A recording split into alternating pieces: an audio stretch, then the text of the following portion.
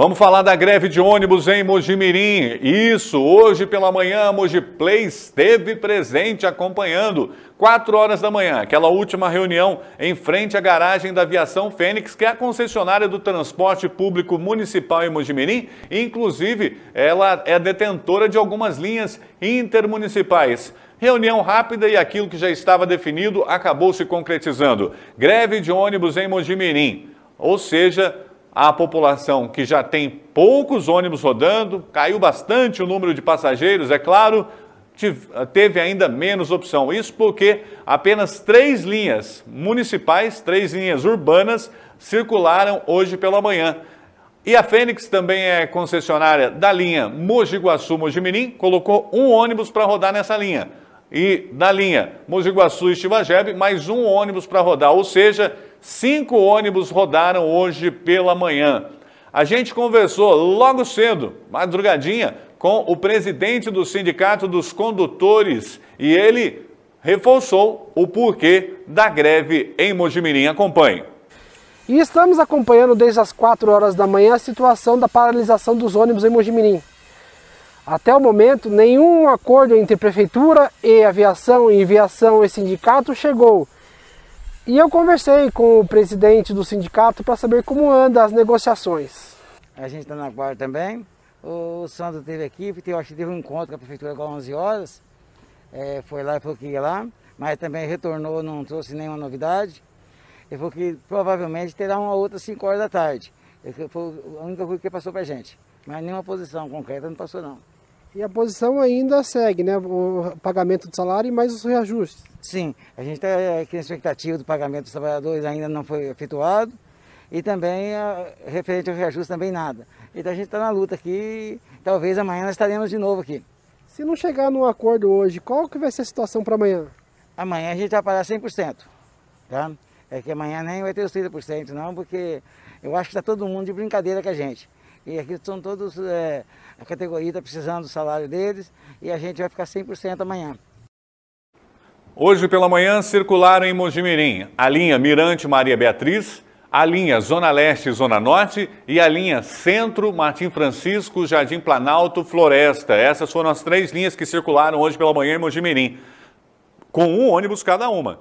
E em Mogi Guaçu, né, a, a linha Mojimirim Mogi Guaçu, um ônibus e a linha Mogi Guaçu Estivajebe, um ônibus. Mas o sindicato está alertando aí que amanhã, já que está faltando negociação na mesa, provavelmente nenhum desses ônibus que rodaram hoje irão circular amanhã pela manhã em Mojimirim e também afetando aí Mogi Guaçu e acionar o Rafael que madrugou hoje lá na porta da garagem. Rafael Tadeu, quais são as últimas informações que nós temos a respeito da greve dos condutores de veículos aí em Mojimirim? Oh, boa noite, Gil. Boa noite a todos que estão acompanhando a Mojiplay. É, hoje eu tive conversando agora há pouco com o Gessi, ainda não, não chegaram a uma, a uma negociação. É, lembrando que também foi paralisado o transporte escolar, né? É, e a, a prefeitura ficou de enviar uma nota agora para a gente sobre essa questão até o final do programa, a gente vem com essa nota da prefeitura, trazendo as informações que a prefeitura tinha passado junto à aviação Fênix. Então, por enquanto, mantida a greve e amanhã, do jeito que o Gessi falou, não roda nada. Tá certo. Vale ressaltar que a aviação Fênix, ela se manifestou na sexta-feira, a gente entrevistou um representante.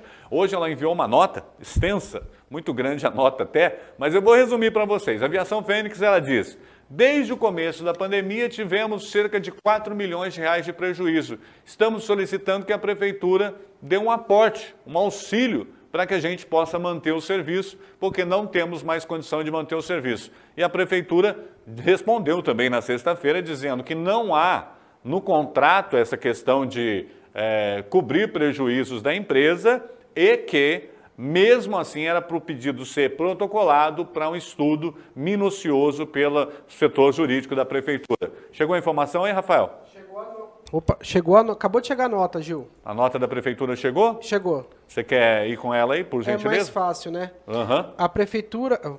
A prefeitura destaca que, comprometida com a prestação de serviço de transporte público, mantém em dia os repasses para a aviação Fênix, Fênix Viação, conforme prevê no contrato. O cumprimento contratual por parte da administração pública visa garantir atendimento aos munícipes e, nesse sentido, reitera o desejo de que todos os serviços de transporte público retornem à normalidade o mais breve. As concessões públicas, caso o transporte público, são avalizadas por contrato firmado entre o poder público e a empresa concessionária. A prefeitura tem feito os repasses em cumprimento à sua responsabilidade e agora cabe à aviação prestar o serviço conforme acordado. Espera aí, Rafael, até aí nenhuma novidade. Está repetindo aquilo que já veio na nota de sexta-feira. Vamos ao ponto, enquanto você bate o olho na nota, eu não sei se ela é muito grande ou não. Não, está finalizando. A, a, a, o ponto é, a Fênix quer um aporte da prefeitura para poder cumprir os seus compromissos com os funcionários. Vamos lá, final da nota.